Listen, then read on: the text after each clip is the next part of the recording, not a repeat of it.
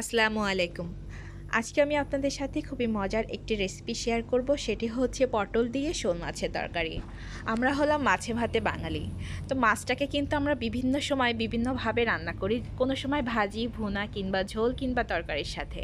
আর আজকে আমি পটল দিয়ে এই তরকারিটা রান্না করব, আশা করি আপনাদের এই রেসিপিটা অনেক বেশি ভালো লাগবে। তো প্রথমেই আমি একটি কড়াই নিয়ে নিয়েছি, তার ভিতরে দিয়ে দিয়েছি ওয়ান থার্ড কাপ পরিমাণ তেল। তো এখানে আমি রান্নার তেলটা ব্যবহার করেছি। এরপর আমি এখানে শোল মাছগুলোকে একটু লবণ এবং হলুদ দিয়ে মেখে রেখেছিলাম, সেটি এবার ভেজে নিচ্ছি। মাছ ভাজার সময় তেলটাকে অবশ্যই একটু বেশি হিট করে নিতে হবে। বেশ তিরিশ থেকে পঁয়ত্রিশ সেকেন্ড পরে এক সাইড যখন হয়ে যাবে, আমি এটা উল্টিয়ে দিচ্ছি। তরকারির ভিতরে মাছ দিতে হলে কিন্তু মাছটা বেশি ডিপ ফ্রাই হলে মাছের স্বাদটা এবং গুণগত মানটা নষ্ট হয়ে যায়। এটা আমরা কম বেশি কিন্তু সবাই জানি। ঠিক এই অবস্থাতে আমি তুলে নিচ্ছি। এবার আমি এখানে ব্যবহার করছি এক কাপ পরিমাণ পেঁয়াজ কুচি। তো আপনারা চাইলে কিন্তু তেলটা আবার পরিবর্তন করে নিতে পারেন। তো আমি আমি এই তেলের ভিতরে আজকে রান্নাটা কমপ্লিট করব। এবার এখানে আমি এক চামচ করে আদা, রসুন এবং জিরা বাটা নিয়েছি। এই মশলাগুলোর সাথে পেঁয়াজটা খুব ভালোভাবে একটু কষিয়ে নিচ্ছি।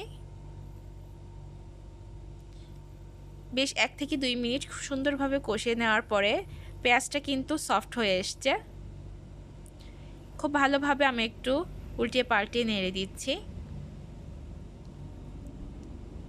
এবার আমি এর ভিতরে অ্যাড করে দিব কাঁচামরিচ। তো কাঁচামরিচ, এখানে আমি আট, নয়টা কাঁচামরিচ নিয়েছি। আপনারা আপনাদের টেস্ট অনুযায়ী এবং তরকারির পরিমাপ অনুযায়ী ঝালটা অ্যাড করে নেবেন। দিয়ে দিচ্ছি লবণ, স্বাদ মতন।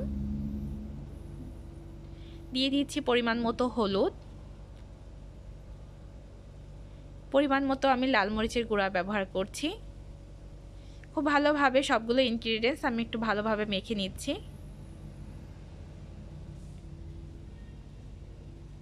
মশলাটা যখন ফুলফিলভাবে কষানো হয়ে যাবে, একটু পোড়া লেগে যেতে পারে।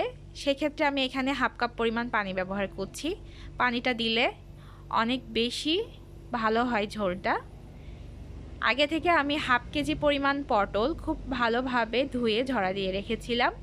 আর আমি পটলটাকে এইভাবে কেটে নিয়েছি। একটা পটলকে চার টুকরো করেছি। পটলগুলো দেওয়ার পরে খুব ভালোভাবে এগুলোকে কষিয়ে নিতে হবে। আবারও তিন থেকে চার মিনিট। পটল রান্না করার সময় কিন্তু বেশি একটা জালের প্রয়োজন হয় না, কারণ পটলটা খুব তাড়াতাড়ি কুক হয়ে যায়। বেশ দুই থেকে তিন মিনিট কষিয়ে নেওয়ার পরে আমি এখানে ঢাকনা দিয়ে রেখে দিচ্ছি। আমি এখানে পানিটাও ব্যবহার করেছিলাম। ফোটান্ত গরম পানি ব্যবহার করেছিলাম দুই কাপ পরিমাণ। খুব সুন্দরভাবে কিন্তু পটলটা আমার রান্না হয়ে গিয়েছে। ঠিক এই পর্যায়ে আমি ব্যবহার করছি কাঁঠালের যে বিচি হয় সেটা। তো এটা আমি আগে থেকে কেটে রেখেছিলাম। তো আপনারা চাইলে এটা কিন্তু স্ক্রিপ্ট করতে পারেন। তবে এই কাঁঠালের বিচিটা ব্যবহার করলে পটলের স্বাদটা কিন্তু অনেক বেশি বেড়ে যায়।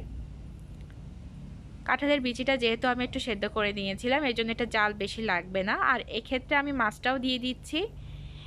এতে করে সবগুলো উপকরণ খুব ভালোভাবে কুক হয়ে যাবে। খুব ভালোভাবে মাছগুলোকে একটু উল্টিয়ে পাল্টিয়ে দিচ্ছি। এবার আমি ঢাকা দিয়ে রেখে দিব পাঁচ মিনিটের জন্য। পাঁচ মিনিট পরে কিন্তু আমার ফুলফিলভাবে রান্নাটা হয়ে যাবে।